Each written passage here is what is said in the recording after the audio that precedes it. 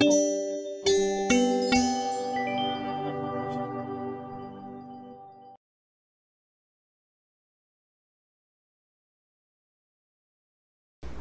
పేరు doctor CL Venkatrao. తలలో పేలు. ఈ పేలు ఎక్కువగా స్త్రీలను ఆడపిల్లల్ని బాధ పెడుతుంటాయి. ఎందుకంటే వాళ్ళకి వెంట్రుకలు పొడుగ్గా ఒత్తుగా ఎక్కువగా ఉంటాయి. అట్లా అని చెప్పి మగపిల్లలకి పేలు పట్టవని కాదు. ఒకే మంచం మీద కలిసి పడుకుంటే పక్క ఉన్నవారికి పేలు రాత్రిపూట ఎక్కేస్తాయి. తల్లి కూతురు ఇద్దరు పడుకుంటే తల్లి నుంచి కూతురికి కూతురు నుంచి తల్లికి. అక్కడే కొడుకు కూడా పడుకుంటే కొడుకు తలకు కూడా ఎక్కేస్తాయి. ఇక పేలు లోపలికి తల్లో అంటినాయి అంటే అవి సామాన్యంగా వదలవు.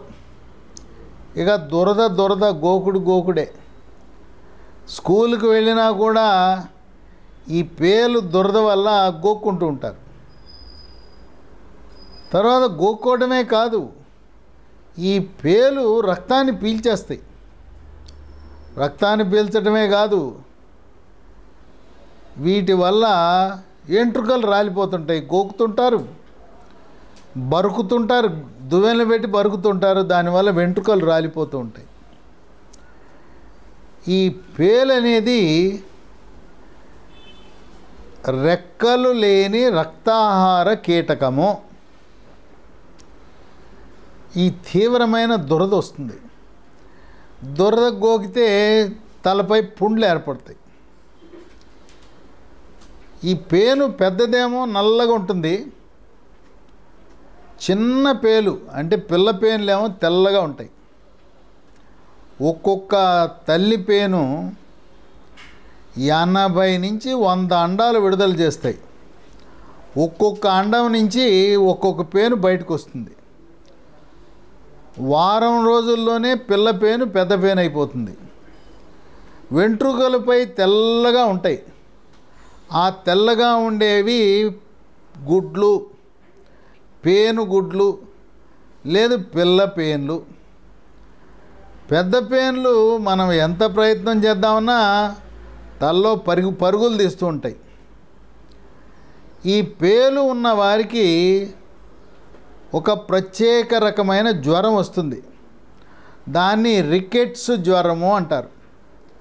కనుక మీకు తలలో పేలు ఉంటే డాక్టర్కి చెప్పండి. ఆయన రికెట్స్ జ్వరం ఉందా మీకు జ్వరం వస్తే ఆ దిశలో తగు పరీక్షలు చేయిస్తాడు. ఈ పేలుకి రకరకాల దువ్వెనలు ఉన్నాయి కొమ్ము దువ్వెనలను ఉన్నాయి కొమ్ము దువ్వెనలతో ఎంత ప్రయత్నం చేసినా కొంతవరకు సఫలీకృతం అవుతారు కానీ ఈ పేలు పూర్తిగా పోవు. ఇక ఇంటి వద్ద గ్రామీణ ప్రాంతాల్లో పిల్లల్ని ఆడపిల్లని కూర్చోబెట్టుకుని పేలు చూస్తుంటారు పెద్దవాళ్ళు. వంట వారిపై అయిపోయిన తర్వాత పిల్లలు ఖాళీగా ఉన్నప్పుడు వాళ్ళ సెలవు రోజుల్లో లేదు స్కూల్కి వెళ్ళి వచ్చిన తర్వాత కూర్చోబెట్టి ఇక పేలు కుక్కడం మొదలు పెడతారు. అయ్యే ఒకటా రెండా? వందలాది వేలాది ఉంటాయి. పేలు కుక్కటం ప్రారంభించినా అవి మాత్రం వశం కావు. కనుక దీనికి పేలు పోగొట్టుకోవడానికి కొన్ని చిట్కా వైద్యాలు ఉన్నాయి. ఆ చిట్కా వైద్యాలు పాటిస్తే గృహ వైద్యాలు పాటిస్తే వాటిని నియంత్రించవచ్చు. ఒకటి మొదటిది ఒక రెండు టేబుల్ స్పూన్ల వినేగార్ని ఒక చిన్న కప్పులో తీసుకోవాలి. ఈ రెండు టేబుల్ స్పూన్ల వినేగార్తో పాటు మరో రెండు స్పూన్ల నీరు కలపాలి. కలిపిన తర్వాత ఈ మిశ్రమాన్ని తలకు రాయాలి. తలకు బాగా పట్టించాలి. వెంట్రుకలకు పట్టించడంతో పాటు మాడుకు కూడా పట్టించాలి. మాడుకు పట్టించిన తర్వాత ఒక ఒక గంట ఆగాలి. ఒక గంట అయిన తర్వాత కుంకుడుకాయలతో కుంకుడుకాయ రసంతో తలస్నానం చేసి మన కొమ్ము దువ్వుతో కొమ్ము దువ్వెంతో దువ్వుకుంటే పోతాయి. రెండోది ఒక స్టీల్ కప్పులో కొబ్బరి నూనె తీసుకోండి. దాంట్లో ఒక స్పూను కర్పూరం కర్పూరం వేయాలి. ఈ కర్పూరం నూనెలో కరగాలంటే ఈ స్టీల్ గిన్నెని కొంచెం వేడి చేయాలి. వేడి చేస్తే స్టీల్ గిన్నెని కర్పూరం కరిగిపోతుంది ఆ కొబ్బరి నూనెలో కరిగిపోతుంది. ఈ కర్పూరము కరిగిన కొబ్బరి నూనెను తలకు రాసి ఒక గంట సేపు ఉంచిన తర్వాత తలంటుకోవాలి. కుంకుడికాయ రసంతో తలంటుకోవాలి.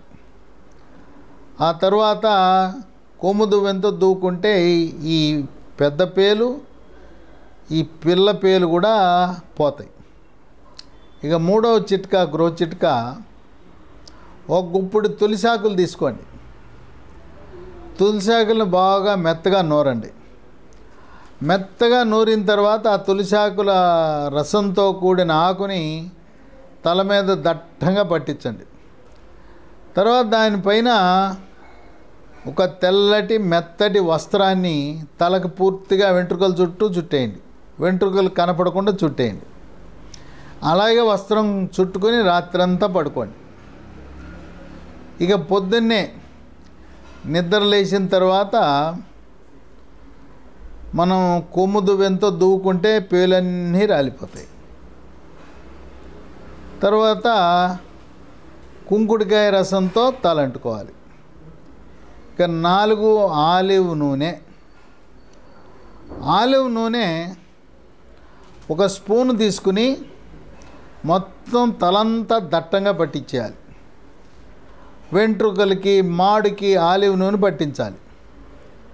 ఆలివ్ నూనె పట్టించి ఆలివ్ నూనె మంచం మీద ఉండే పరుపుకి దుప్పటికి అవ్వకుండా ఓ ప్లాస్టిక్ కవరు తల మీద పెట్టండి. ప్లాస్టిక్ కవరు తల మీద పెట్టి ఒక రబ్బర్ బ్యాండ్ వేసేస్తే ఆ ఆలివ్ నూనె రాత్రంతా ఈ తల్లి పేలు పిల్ల పేలుపై పనిచేస్తూ ఉంటుంది. పొద్దున కల్లా చాలా వరకు మరణిస్తాయి. కొమ్ము దువ్వెంతో దువ్వేసేయండి రాలినని రాలిపోతాయి. తదుపరి కుంకుడికాయ రసంతో తలస్నానం చేయాలి. ఈ విధంగా పేలను నివారించాలి. పేలు ఉండటం వల్ల పిల్లలకు దురద ఉండటం వల్ల చదువుపై ఏకాగ్రత చూపించలేరు. రాత్రిపూట కూడా వాళ్ళకి నిద్ర సరిగా పట్టకపోవటం వల్ల రాత్రి నిద్ర లేకపోతే పగలపూట స్కూలుకు వెళ్ళి స్కూల్లో కునికిపాట్లు పడుతుంటారు స్కూల్లో నిద్రపోతుంటారు. కనుక ఎవరైనా పేలు గమనిస్తే ఈ నాలుగు రకాల చిట్కా వైద్యాలు గృహ వైద్యాలలో ఏదో ఒకటి పాటిస్తే సరిపోతుంది. మీకు ఏది అనుకూలముగా ఉంటే అటువంటి గృహ వైద్యాన్ని పాటించి పెద్దలు పిల్లలు ఎవ్వరూ కూడా పేలు లేకుండా నివారించుకోండి. ఎవరికైనా తలలో పేలుంటే వారి పక్కన మంచంపై పడుకోవద్దు. పక్క వాళ్ళ పేలు మీకు కూడా అంటే అవకాశం ఉంది. ఈ పేలు మామూలు పేలు కాదు. ఇవి తలలో ఉండే వెంట్రుకలనే కాదు. పురుష స్త్రీ జననేంద్రియాల చుట్టూ ఉండే వెంట్రుకల్లో కూడా పేలు ప్రవేశిస్తాయి. ఇక అక్కడ జననేంద్రియాల చుట్టూ కూడా తీవ్రమైన దురదను కలిగించే అవకాశము ఎంతైనా ఉంది.